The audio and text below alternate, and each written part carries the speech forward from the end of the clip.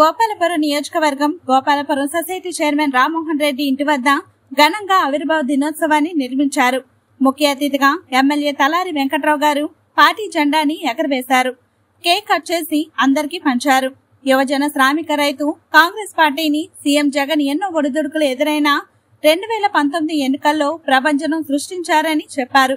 ఆసుపత్రుల్లో రోగులకు పండ్లు పంచారు. లెక్క చేయకుండా నమ్మిన వారు కూడా ఎంతో ద్రోహం చేస్తూ ఎన్నో ఇబ్బందులు పడినప్పటికీ ముఖ్యమంత్రి జగన్మోహన్ గారు ఆ రోజుల్లో చక్కని రీతిలో చక్కని రీతిలో పార్టీని నడిపించుకుంటూ దేవుని దయతో అనే మాటను వాడుకుంటూ ఏదొచ్చినా దేవుడు ఉన్నాడు అనే నమ్మకంతోనే అధికారాన్ని చేదిక్కించుకుని రీతిలో ముందుకు నడిచిన నాయకుడు ఎవరంటే మన యువ ముఖ్యమంత్రి జగన్మోహన్ గారు ఆ రోజు.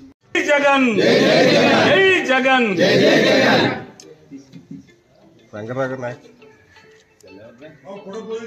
Cip